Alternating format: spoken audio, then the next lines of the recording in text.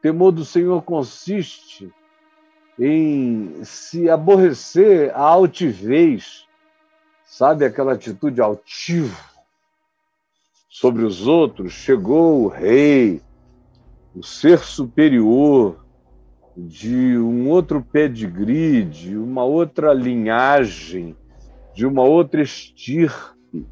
Quem tem o temor do Senhor não carrega isso no ser, não carrega essa ilusão, nem tampouco a ilusão moral de ser superior ou a ilusão ética. Quem tem o temor do Senhor não é judicioso contra o próximo. O temor do Senhor também destrói, acaba com a soberba no coração, com essa atitude de gente que anda como o diabo, porque se diz que a soberba foi o laço dele, foi a soberba, foi esse narcisismo autoglorificante que o derrubou e no fim derruba todo mundo. A história nos demonstra, nos conta as narrativas, nos traz as narrativas dos soberbos. E como todos eles acabaram, a soberba em si é o pior inimigo, o temor do Senhor não coexiste com a arrogância, com a soberba, com a altivez, com a língua maligna, ferina e que separa irmãos, separa o próximo, cria confusão, produz divisão. Quem faz isso não tem o temor do Senhor. Aí o crente diz: divisão na igreja, não é, Caio? Não, é divisão no mundo, divisão na terra, divisão entre humanos. Entendeu? Deus não conhece essa distinção de crente e não crente. Todos eles são filhos dele, a congregação de Deus está espalhada por toda a terra. E atualmente está com quase 8 bilhões de membros. 8 bilhões de membros. E é isso que você e eu precisamos saber. A congregação de Deus está espalhada e o mandamento de Deus é para ser praticado não em favor de um grupelho que se reúne nas quatro paredes do que você resolveu chamar casa de Deus. Não. É em toda a terra, por toda a terra, aonde se faz ouvir a sua voz, como diz o Salmo 19. É aí que essa grande congregação, como disse John Wesley, o mundo é a minha paróquia.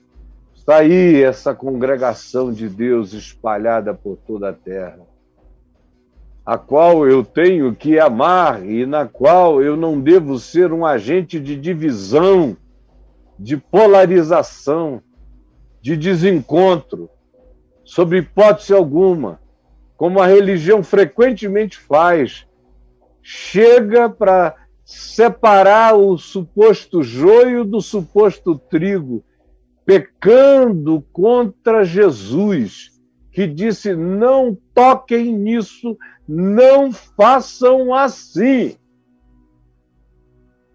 Não façam assim, porque quem pretende separar o joio do trigo é o joio, nunca é o trigo.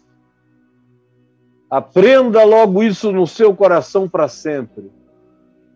Aleluia, bem-aventurado o homem que teme ao Senhor, esse é o temor do Senhor.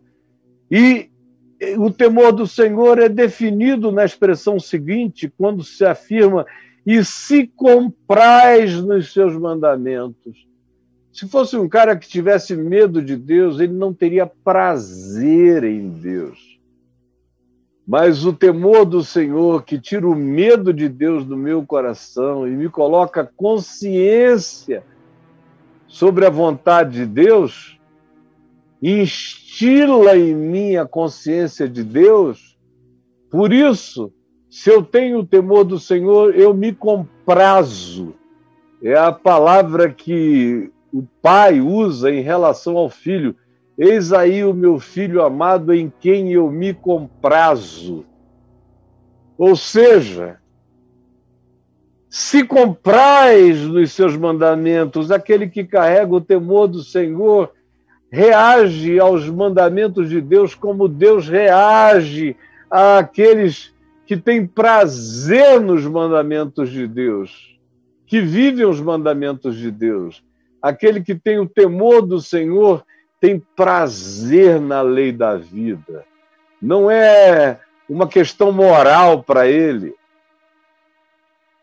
Não é daquele tipo que, se viesse um anjo de verdade e dissesse: olhe, todos os mandamentos de Deus estão suspensos. Se alguém matar, não levará a culpa. Se alguém adulterar, não levará o peso.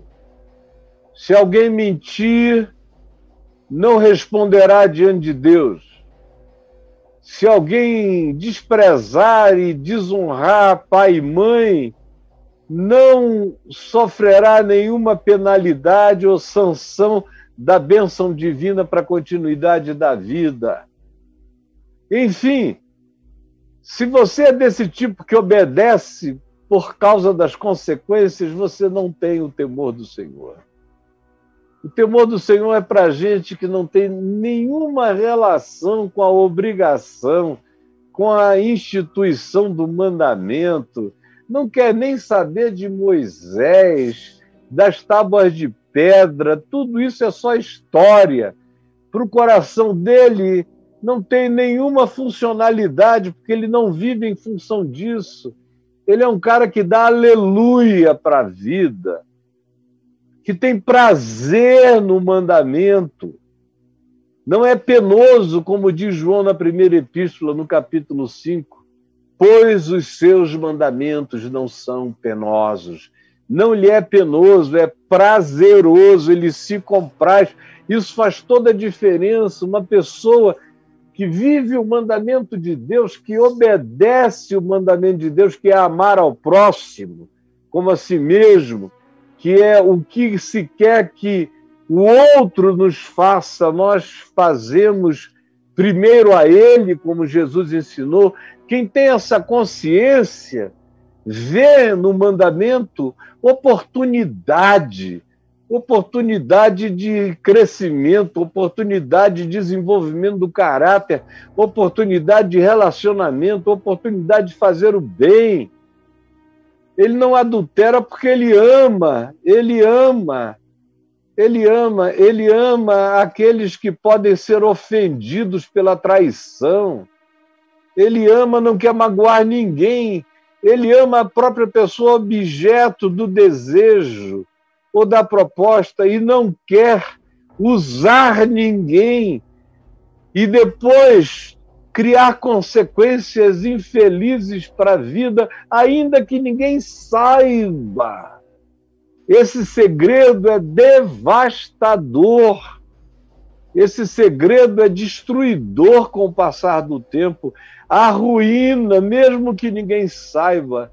Mas esse que tem o temor do Senhor se compraz na lei da vida, no Evangelho, nos seus mandamentos, não é um peso, é um prazer, é um privilégio, é uma oportunidade, é uma porta aberta, é caminho de libertação, é forjamento do caráter, é a expansão da própria mente, que fica livre de ter que viver no carrossel da culpa, perdendo toda a sua energia criativa na mesmice da angústia culposa e que agora, ao contrário, por não ter ido nessa direção e andado no caminho do prazer em Deus e no mandamento de Deus, salva a energia que se expande na mente, se expande na memória, se expande na criatividade, se expande em todas as direções.